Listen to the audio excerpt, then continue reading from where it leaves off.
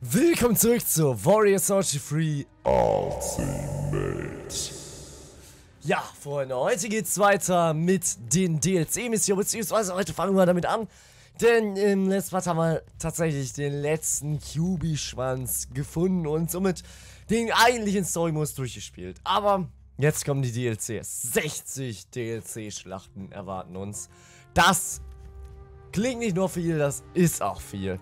Ist teilweise genauso lang wie ein Spiel. Ich meine, wenn Warriors OG 4 51 Schlachten hat und das hier 60 DLC-Missionen sind, ja, dann, ne, könnt ihr mal ungefähr sehen, wie lang das jetzt hier ist. Also ein DLC, der sich wirklich zu kaufen lohnt. Nicht nur viele Schlachten, sondern Soundtracks und und und. Also da bereue ich wirklich keinen Cent. Aber die Schlachten schauen wir uns gleich an. Erstmal reden wir mit Uichi. Katsui, is there no way that we can return to the world we came from? If you wish, Lady Uishi, I will find us a way. You're as dependable as they come, Katsui. I'm sure you will get to the bottom of this. Tja, die fühlt sich scheinbar unwohl in dieser Welt. I understood why you have such a strong fighting spirit. You never worry about the little things. Right, Yoshi. You must merely slay the enemies that lie before you. I know we must stop this destruction. Whatever needs to be done.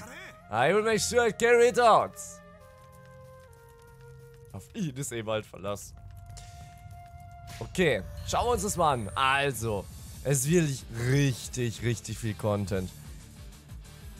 Das sind einmal hier diese, dann kommt hier ähm, nochmal Nachschub, das ist noch mehr sogar.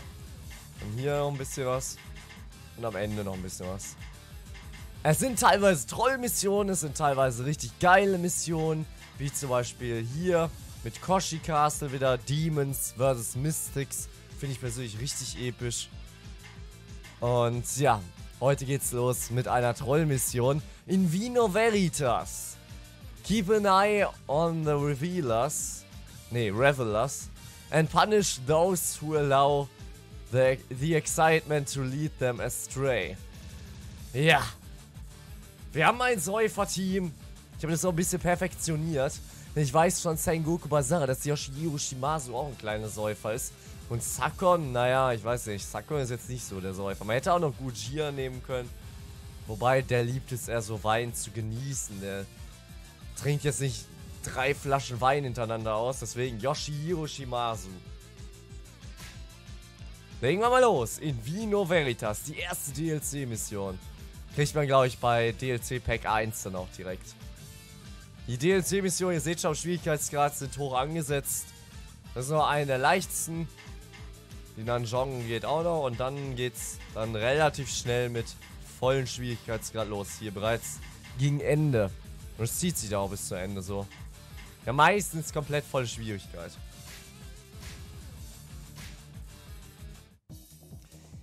Bisschen schade ist, keine Background-Story. Da wird nichts erzählt, kein History-Teller. Das ist ein bisschen schade, aber so ist es nun mal. Earth Splatter X. Da passt alles, super. Ähm, das kann man alles akzeptieren, super. Wir gewinnen, wenn wir den Bereich ausgekundschaftet haben. Guan Yu und Zhang Bao dürfen nicht sterben. Alles klar. Keine Gegner in Sichtweite. Auch sehr, sehr merkwürdig.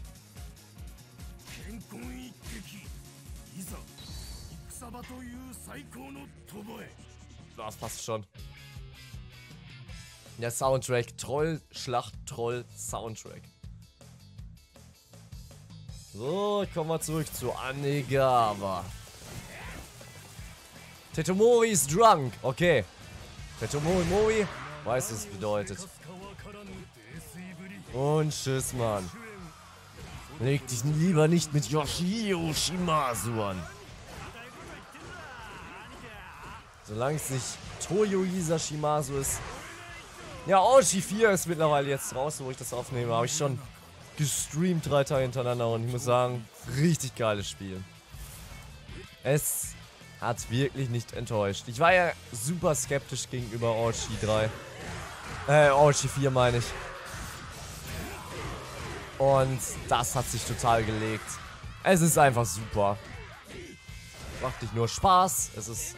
Es bringt ein bisschen frischen Wind rein und ähm, versaut trotzdem nicht das Gameplay. Richtig gutes Spiel, absolut empfehlenswert. Sobald ich da alles habe, wird natürlich auch noch ein Let's Play dazu kommen. Und ich glaube tatsächlich, ich werde alles haben, wenn das Spiel zu Ende ist. Bedeutet, nach Orgy 3 kommt Orgy 4. 100% Let's Play. Weil Orgy 3 geht noch so lange. Bis dahin habe ich auf jeden Fall Orgy 4 fertig. Na, Orgy 4 machen wir ein bisschen Hyrule Warriors. So viel zu diesem Thema. Gut.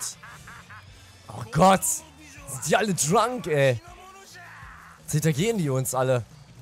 Bonjour, dafür wirst du zahlen. Jetzt bin ich Trunkenbold Nummer 1. Er hat ja auch hier die kleine Flasche, wo auch Alkohol drin ist. Deswegen, das ist einfach das beste Jank Fay Outfit von Dice Wars 4.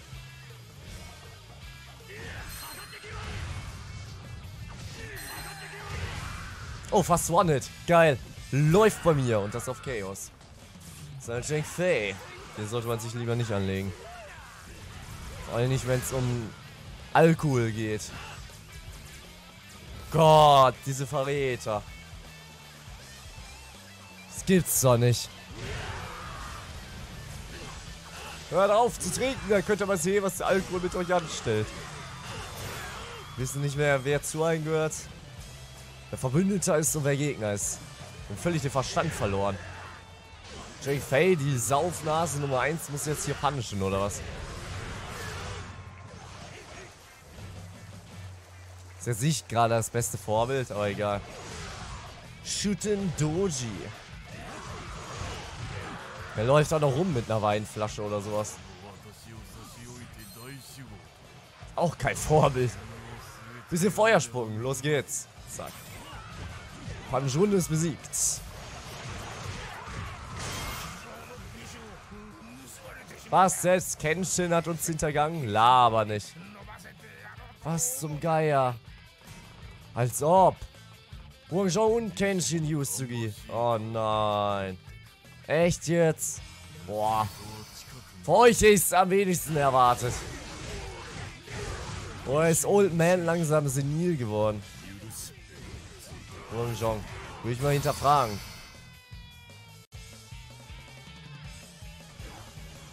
True Triple Musu.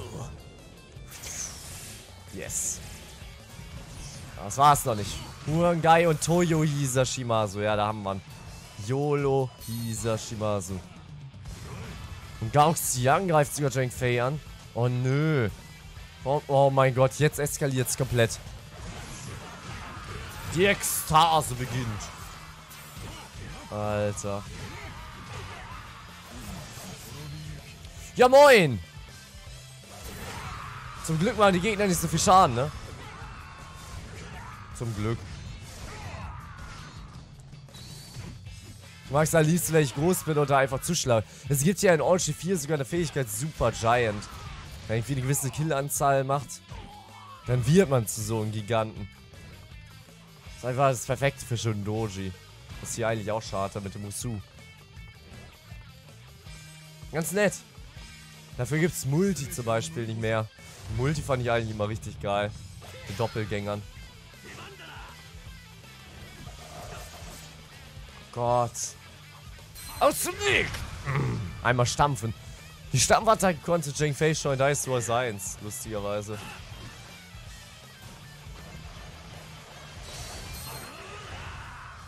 So, YOLO Hisashimasu ist mal wieder einfach reingelaufen wie Vollidiot. Ist natürlich direkt besiegt.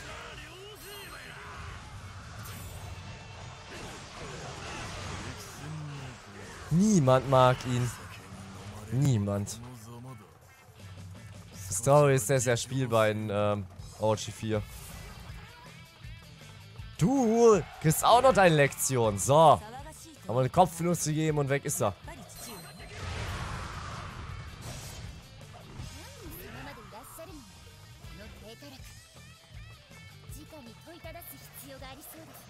Machen die denn jetzt hier? Letzten Endes waren wir, glaube ich, diejenigen, die betrunken waren.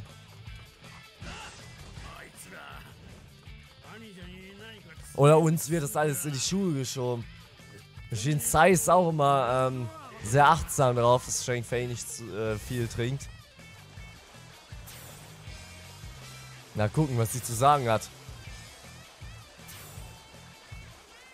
Habe ich natürlich kein Dings mehr, ne? Kein True Triple Musu.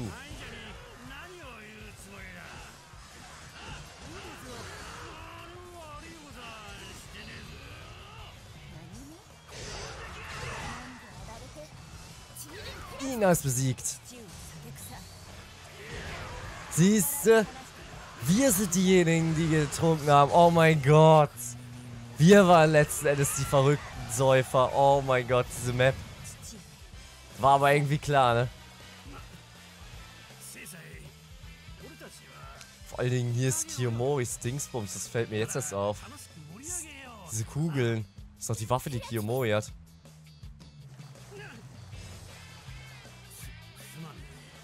Wir haben alle angegriffen, weil wir besoffen waren. Oh man. Ich sag ja, es ist die übelste Trollschlacht.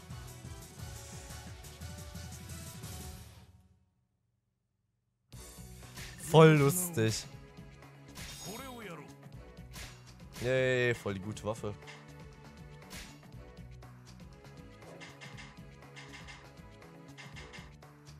Das ist alles unseres, ne? Ja.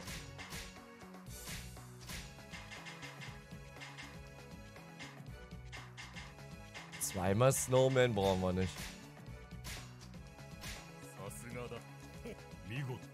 Aber das, das war lustig, oder?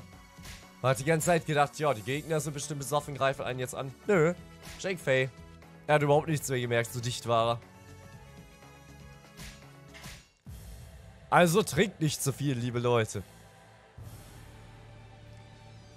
Ach, wie herrlich, ey. In Vino Veritas, im Wein liegt die Wahrheit, hieß das einfach mal. Oh Mann, ey, da fehlen einem die Worte.